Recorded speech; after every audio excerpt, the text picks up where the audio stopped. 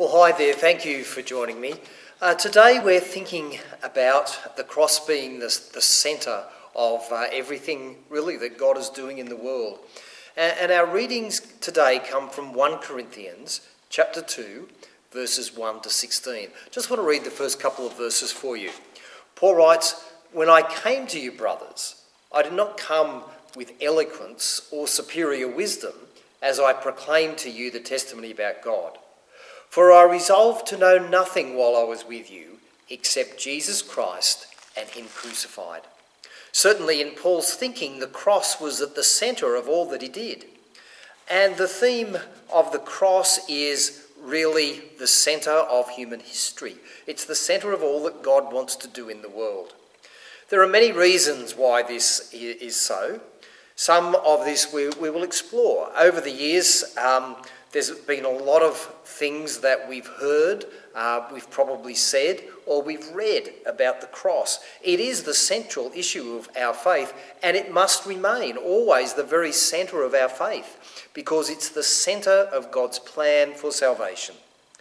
So if we uh, get sidetracked on other things, and, and uh, there are many other things that are great. Um, evangelism is great. Loving people is great.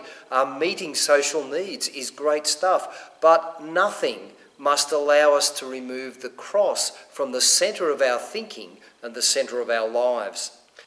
As a young Christian, you were probably taught that a Christ came, no one can come to Christ and know God except through the cross.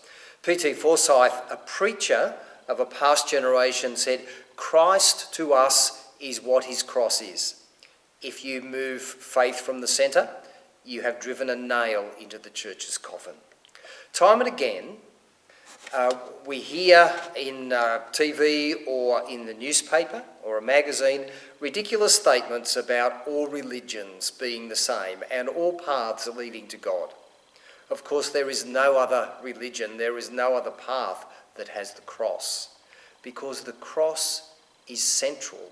The cross is essential. And we need to uh, have the cross at the very centre of our hearts and our minds. Father, we, we do thank you for Jesus and his willingness to die on the cross. Pray, Father, that you would help us to keep that sacrifice at the centre of our thinking always. And help us to remember, Father, that you call us to deny ourselves, to take up our cross, and to follow Jesus. It's in his name that we pray.